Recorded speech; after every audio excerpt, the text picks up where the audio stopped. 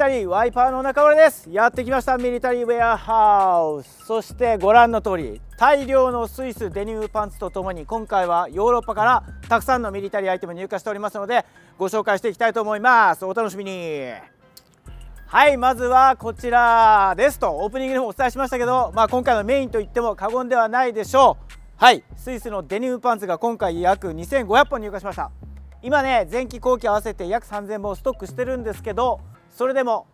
追加で2500本入荷したくなるほどの名作ですね。でねこれね公開時期わかんないですけど先日の伊勢丹のポップアップでたくさんのお客様スイスデニムパンツを着用してお越しいただいたのがすごい鮮明に覚えてます。まあそれぐらい熱く指示を受けてる名作と言っても過言ではないでしょう。もう説明の必要ないかもしれないですけどスイス軍の1950年代から使われてたワークパンツですね。なのでまあこのね堅牢な作りとワークパンツと言われるだけあって、まあ、かなりあのユーティリティに使えるものなので実際に作業用とかプリズナーとしても使われたぐらいのあの融通の利く1本だと思います。で今回嬉しいことにパレットの上の方を見る限りこのアルミボタンの前期が多いですね現在やはり前期のものがサイズ掛けしているのが目立つんですけど今回2500本入荷しているのでおそらく今欠品しているサイズの再入荷があるんじゃないかなと思います。まあ、このねパンツのいいところはやはりこのグリーンデニムとも言われるんですけどグリーンっぽい色合いのものだったりグレーの色味が強いものだったりとかもうほんとユーズドであの一本一本表情が違います、まあ、そこを楽しんでいただけるかなと思います。実際私も今3本持ってますからねサイズ大きいやつから前期後期とかいろいろ含めると。なんでね今回のこの入荷とかでもこうやってユーズドで継ぎはぎして丈を長くしてるやつとかあるんですよ。で上の方はグリーンっぽいけど下はグレーっぽいみたいなね。これもまた一つの味なんですね。なんでねすごく長く付き合える1本だと思いますのでこれを機にスイスデニムパンツ持たれてない方はマイサイズウエストをチェックして商品ページ前期後期ありますんでぜひご覧ください。一押しです。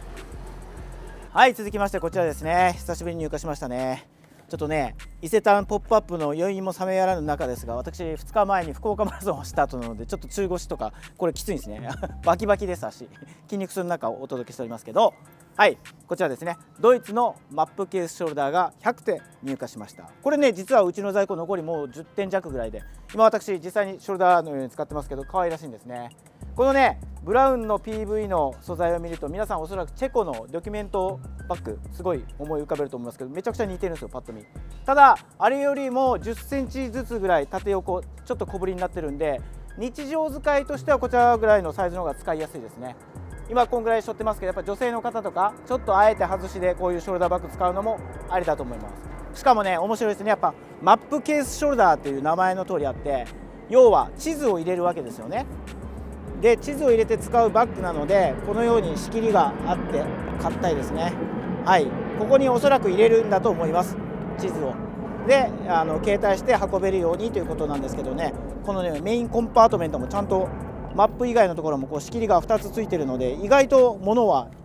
たくさん入れれますしここの手前にはコンパスポーチですかね。なんかコンパスを入れるようなディテールが細かくあるんですよ。このベルトも何かを挟むやつでしょうけど間に。っていうねやはりミリタリーっていうだけあってシンプルイズベストで見た目はありますけどディテールはかなり凝ってる一つなので個人的にはあえて外しで使うショルダーバッグ。今からの季節でも全然ありだと思いますんで商品ページぜひチェックしてみてください。はい続きましてこちらですね。嬉しい再入荷になりますね。イタリアのサンマルコカモのフィールドジャケットがわずかに80枚約80枚入荷しました。これはちょっと前に結構大量に入ってきたんですよ。レッドストックで。ただ1だったんですねほとんど。まあ、イタリア軍というのはあの知ってる方も多いかもしれないですけど54321というサイズ表記なんですけどちっちゃい数字の方が大きいんですよ。だから要は一番大きなサイズが今結構デッドストックでストックしてるんですけどやはり私には1はさすがに大きいので今回わずかに85枚ですけどちっちゃいサイズがあればいいなと思ってたら表記3のサイズを確認しました1枚。これはねなので、まあ、1しかないなと思ってちっちゃいサイズを待望に待ち望んでいた方いると思いますので参入荷の通知を。ただねこれ今回はユーズドかもしれないですね。ライクニューなんですけど見た目は全然いいんですけどデッドではないかもしれないです。ちゃんと検品して住み分けします。でしかもね嬉しい誤算でこのねサンマルコカモもね90年代とか2000年代のものありますけどこの90年代のこの色味がちょっとあからさまに違うものも1枚今のところ1枚入ってました。しかもこれライナー付き。まあ、今回ライナーなしの予定だったのでこのライナー付きイレギュラーになります。しかもこれはめちゃくちゃ水通しもされてないようなデッドストックですね。素晴らしい。なのでこれは少量なのでひょっとしたら店舗販売になるかもしれないですけどやはりサンマルコカモはねイタリア軍のアイテムの中でもトップクラス人気アイテムになりますのでこれを機にぜひ商品ページ確認してみてください。はい続きましてこちらですね。こちらはイタリア MM マリナ・ミリターレ・イタリアのですねイタリア海軍のデッキパーカーが約280枚入荷しました。これはねやはり海軍のものというだけあってこのネイビーベースにオレンジの切り替えがかなりインパクトありますね。ニューヨークメッツだったりニックスっていうねスポーツっぽいこのカラー私個人的にはすごい好きなんですけどこれねスペインのコレオスと同じぐらいかなりコスパのいいアイテムになってます。ご覧の通りナイロンジャケットなんですけど、まあ、海軍仕様ということで、まあ、防寒性も高めるためにこのような中綿入りのライナーがついてます。スナップボタンで着脱式なので比較的簡単に装着可能です。だからこれだけでも十分1枚で着れるディテールですし保温性も高いですし、まあ、シェルのみでも着れるので、まあ、着用期間がねまず秋口から真冬にかけて長いということ。そしてこのジェネ2のように襟のスタンドの中にフードが入ってますので外せばあの中から取り出せばこのような大きめの大ぶりのしかもフードです。可愛いですね。あの簡易的なものではないので結構しっかりしてる生地なんで全然出しても十分あのファッションとしては成り立つと思います。しかも嬉しいことにつばにはワイヤーが入っているので形をこうやって整えることもできます。まあとっさに雨が降った時はもちろんですけどファッションとしても出すとちょっとマンパーっぽい雰囲気にもなるんでガラッと雰囲気が変わるかなと思います。でね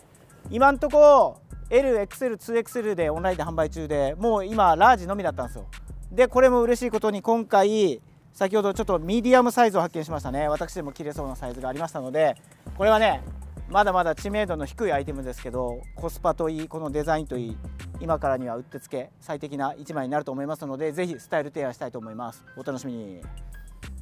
はい続きましてこちらですね。まあ、11月に入り福岡もぐっと寒くなりましたけども今からの真冬に嬉しい1本が再入荷しました。はいじゃじゃん。スウェーデンの M90 のコールドウェザーパンツが久しぶりじゃないですかね。の再入荷です。ユーズドで200本入荷しました。まあ、これはね M90 スウェーデンの M90 といえば皆様コートの方がパッと思い浮かぶでしょうが実は対となるこのパンツもあるんですね。でご覧の通りこのアウターと一緒ですね。コートと一緒で中綿入りの素材で防寒性のかなり高い。オーバーパンツです。なので面白いですけどねこのディテール。サイドのジッパーがまあフルオープンになるので、まあ、ブーツを履いたまま着用もできますしウエストが面白いですね。このままサイドにまっすぐ走ってるわけじゃなくて斜めに走ってるんですよ。ウエストにかけて。でウエストはゴムで伸縮性のある素材になっているのである程度融通は効きます。なので幅広いサイズでウエストは選んでいただけますしまあね冬の防寒対策として6号パンツライナー私激推ししておりますけどそれはもちろん気持ちいいです。でチェコの M90 ですね。もユーロミリタリーだったら忘れずにと言ってますけど久しぶりにスウェーデンの M90 コールドウェザーパンツが入ってきましたんでこれはねアウトドアだったり釣りだったりとか本格的なかなり過酷な環境にはうってつけの1本だと思います。あの長いこと欠品してました。今回200本入荷してまして嬉しいことに170とかいうちっちゃいサイズもありますんでこれ待望の再入荷だと思います。再入荷通知をお楽しみにお待ちください。はい続きましてはこちらですね。珍しい珍しいネタが入ってきましたね。ミリタリーのトレーニングシューズをこれまで何度も紹介してきましたけどなんと今回はマリナ・ミリターレ・イタリアのイタリア海軍のトレーニングシューズが入荷してます。しかもサプライヤーがナイキ。珍しいですね。私ね今履いてますけどこの米軍のニューバランスのシューズ履いて福岡マラソン完走しましたけど今までナイキのものは一回も見たことなかったです。すごい楽しみにしてました。しかもこれねここのシール見たらまあ MM マリナミリターレ貼ってあるんですけどちゃんとね最近のイタリア軍ってコントラクトナンバーがしっかりしてます2019年7月1日デリバリー。すごいですね。日付まで入ってるっていう。ただこれ私ランニングするんで分かるんですけどこれサイズ大きいサイズ出しましたけどレボリューションというナイキの今インラインでも展開しているランニングシューズなんですよ。おそらくインラインは今7まで来てますね。最新のもので。で今回はこのメンズのサイズがレボリューション4ですね。そうですね。でレディースのサイズも入荷しました。そっちはレボリューション5でしたね。あのサイズによってちょっと型番が異なってくるようですけど。まあ最近の主流であります厚底の柔らかいクッションのソールのランニングシューズですね、まあ、しかも真っ白という、まあ、海軍だからですかね。なかなか真っ白のトレーニングシューズ自体が他国を見ても珍しいと思います。もちろんデッドストックの箱入りですね。で400足入ってきてるのでサイズの内訳がね結構幅広かったです。すごいちっちゃなサイズからめちゃめちゃ大きなサイズまでありますんでちょっと検品をしてお届けするとは思いますけどまあなかなか見ないナイキの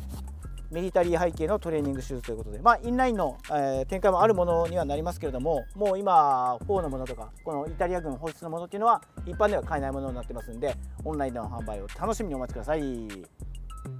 はい続きましてこちらですね。これも久しぶりの入荷ですね。これ面白いんですよ。これもちゃんとイタリア軍のものなんですけどね。またちゃんとデリバリーが書いてますね。98年7月13日に軍に納品された。これは何かと言いますとあえてじらしていきますねこれ。1箱に2 4 6 8 1 0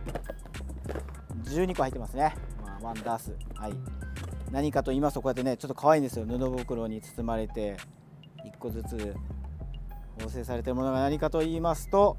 はい。じゃじゃん。ソーイングセットなんですね。これ糸とボタンがまたこのボタンが何とも言えないですね。このイタリア軍の4つボタンと2つ穴の樹脂とプラスチックですかね。とこのなんだろうメッキかな。イタリア軍の多分エンブレムが入ってるゴールドのボタン。このボタンでさえもちょっと愛らしいこのサイズ感という雰囲気が。そしてこの糸ですね。おそらくイタリア軍のアイテムとかに使われてる実際の糸なんでしょう。そしてこれなんか見た目が可愛いじゃないですか。ちょっとウッド調のこの。そしてここは実はですねここをひねるとですよ。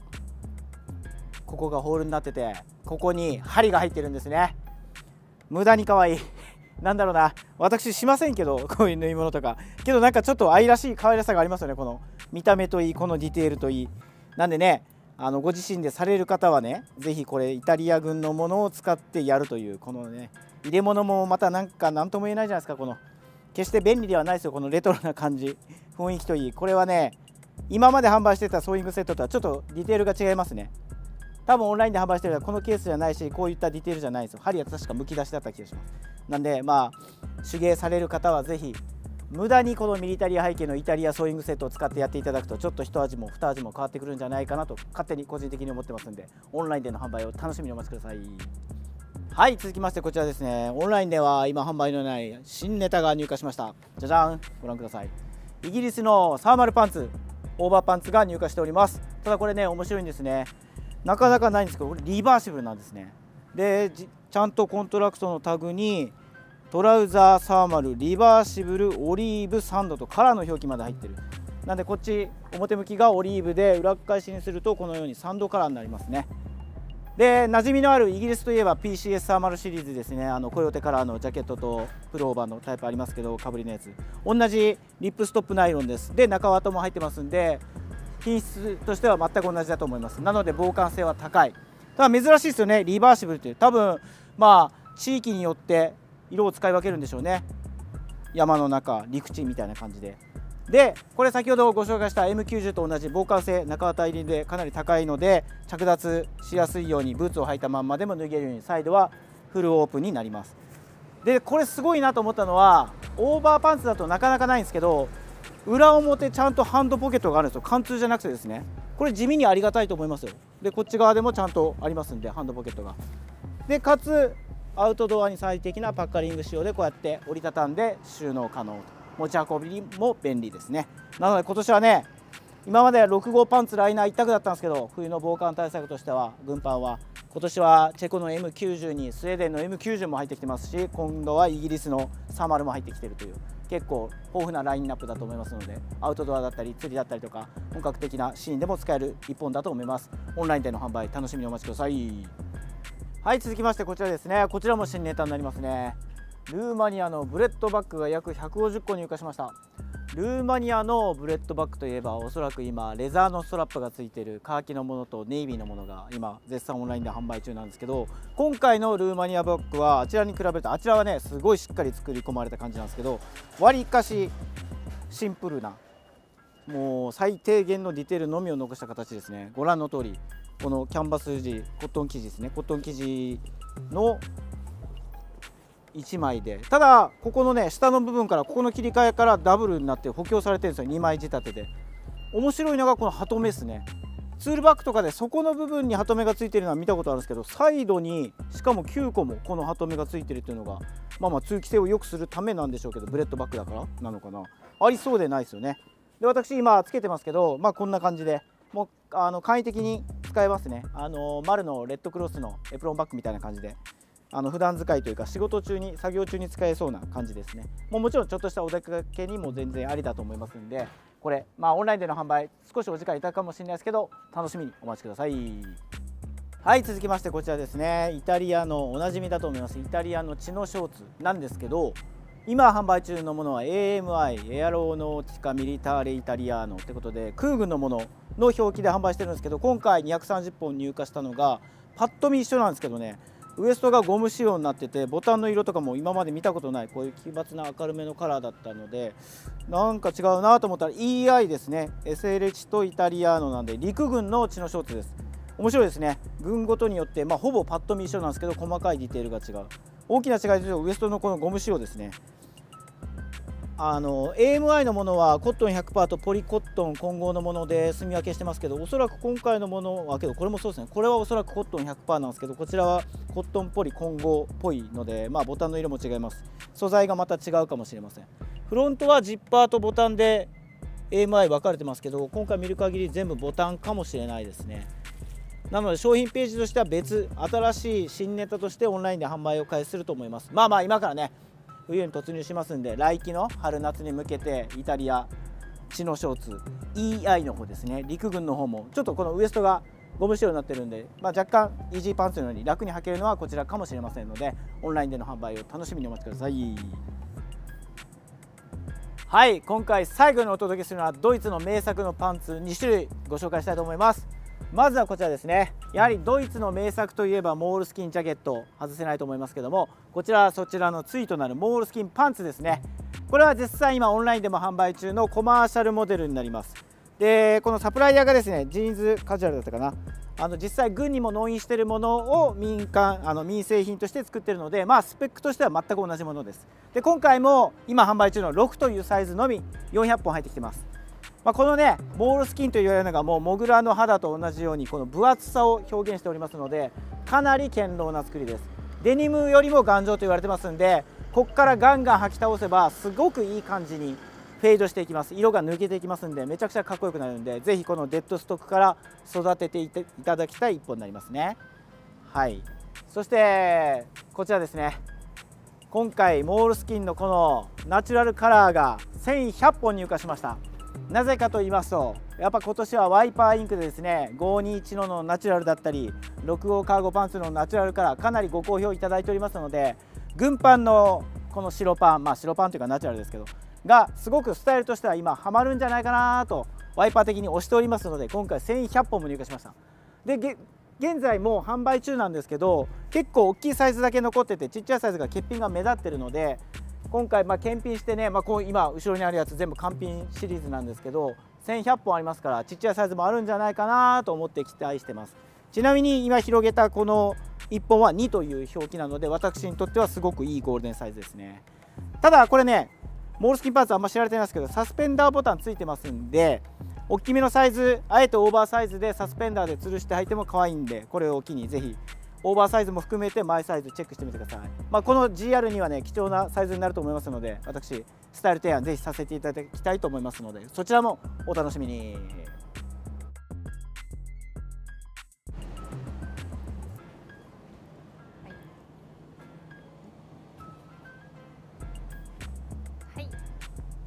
はい、ということで7にスイスのデニムパンツの前期の45表記のものを履いてもらいました、はい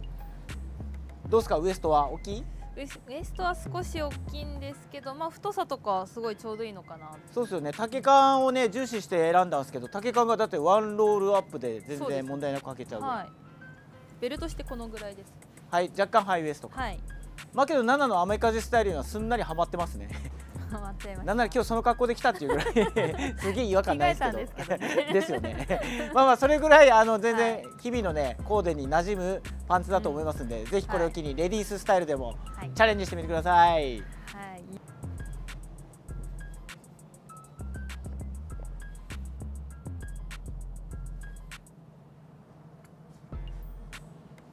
はいということで7に続いて私もスイスのデニムパンツの45の表記のもの前期を履いてみました。まあ、これはね何がお伝えしたいかと言いますと散々言ってますけど一応デニムのセットアップなんですね。なんで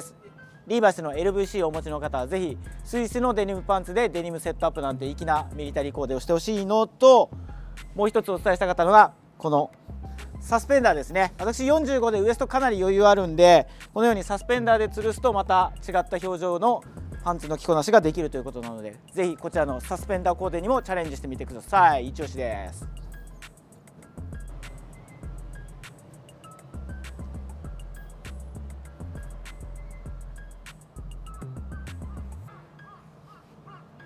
はいということでドイツのモールスキンパンツのナチュラルの方履いてみました。サイズは GR の5ですね。5で履いてます。まあ先ほどのスイスのデニムパンツと一緒で動画でもお伝えしたようにこちらもサスペンダーボタンがあるのでサスペンダーで吊るしてます。まあただよく言えば5より1個下の4が私にはベストですかね。サスペンダーで吊るしたとしても拳大ぐらい余っちゃってるんでもう1個下ぐらい落とせば。まあただ自分より身長大きくて体重がある方は5であのこの着用感参考になると思います。ロールアップはちなみに3回してますんでまあやっぱ私より身長と体重が上の人がこの5該当サイズになるんじゃないですかね。普通に履いてもまあ後ほど7がお伝えしますけど全然使えますしサスペンダーボタンで吊るすとまたスイスデニムパンツ同様全く別の表情を見せるのでそういうスタイリスタイリングで分けて楽しむのも一つの手だと思います。是非チャレンジしてみてください。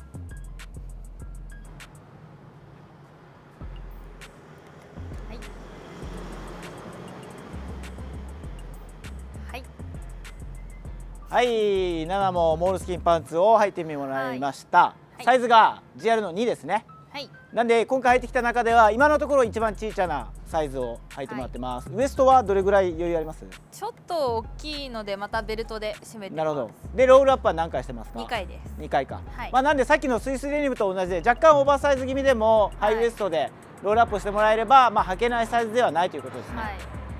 まあそのニット合わせなんかちょっとダンサーっぽいですね ダンス踊れそうな雰囲気醸し出しますけど。色味が可愛いんでそうですね。合うと思います。そうこれはねまたなんだろうな。ナチュラルっていうよりはちょっとグレー味がかかったホワイトなんとも言えない絶妙な色合いですもんね、はい、横向いてください横、はい、まあけどやっぱポケットのシルエットというか太さはしっかり出てるんで、意外と合わせ意外とというかなんか、うん、程よく上品で程よくラフな感じがなんかこのモールスキンパンツは特徴かなと思いますんで、はい、ぜひレディーススタイルでもスタイル提案皆様ご活用ください、はい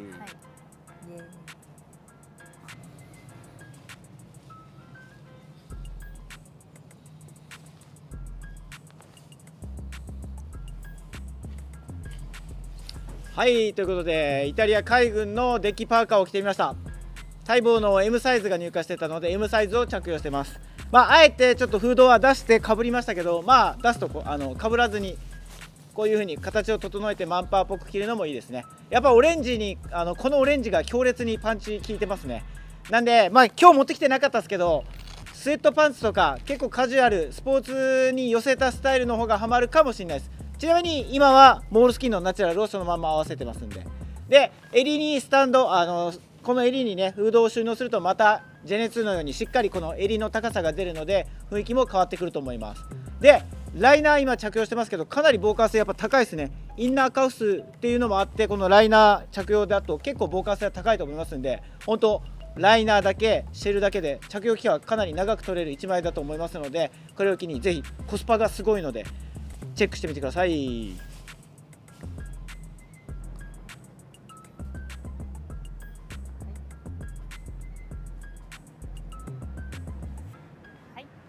はいということで先ほど私が来たマリナ・ミリターレ・イタリアのイタリア海軍のデッキパーカーのライナーですね。ライナーのみで今回は7に着用してもらいました。同じく M サイズです。けどこれいいっすねやっぱり。いいですね。なんかもう良くも悪くもミリタリーらしくないというかネイビーソリッドで、まあキルティングか、はい、すげえベーシック。合わせやすいですね。ね。でこれのいいところはこのスナップボタンでちゃんとあの前を閉めれるというところですねなんで本当にまあ薄手のジャケットとして1枚活用できますし袖口はそれどうなってますっけ？はリブなしの切り落としか、まあまあ全然ストレスなく切れると思いますんで、まあこういうザ・アメカジっていうかカジュアルコーディネートには間違いなく重宝する1枚だと思いますので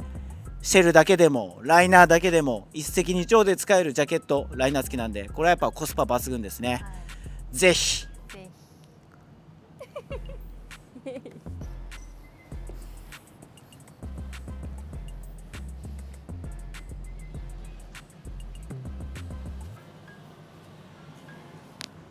はい。ということで履いてみました、えっと、僕が今履いているのが、えっと、スウェーデンの M90 コールドウェザーパンツになります。で、えっと、着用サイズは180で、えっと、僕の身長が178で体重が85キロになります。で、えっと、下には何も履いてない。下着の上から今履いてる状態なんですけど、まあ、ジャストサイズっていう感じですね。で、えっと、もうコールドウェザーパンツ、あのーということでもうかなりウエストは高い位置まであります。で腰の後ろのところにゴムが入ってるんでもうベルトなしでもずり落ちない状態ですね。であとは裾のとこ。こちらにもゴムがついているのでこういった丈がちょっとあるブーツでも問題なく履けるかなと。でもうポイントとしてはもう両サイドにあるこの大きめのサイズのジップこちらがすごく主張してかっこいい一本かなと思います。はいということで今回ヨーロッパのアイテムを中心にお届けしました。やっぱりねスイスのデニムパンツに始まりまあ3000本ありましたけどさらに2500本ストックしてます。もうバラックパンツばりにねあればこちらにストックしたいというぐらい名作のパンツになってますんでこれを機にぜひチェックしてみてほしいのとやはりね今からの真冬に備えて防寒用パンツがね今回スウェーデンの M90 とイギリスの30でねさっき動画の中でチェコの M90 って引っ張られて言いましたけどスウェーデンの M90 に。M60 ですね。ユーロサープラスの防寒用のパンツも揃ってますんで、まあ、6号パンツのライナーもしっかりで真冬にしっかり備えていただきたい。かつ今回はやっぱモールスキンパンツのナチュラルですね。今年を象徴するかのような軍パンの白系のパンツ。これは来年に備えてでもぜひ今からストックしておきたい。外せないアイテムだと思いますのでぜひ勝利ページをチェックしてみてください。それでは皆様またミリタリーウェアハウスでお会いしましょう。さようなら。バイバイ。バン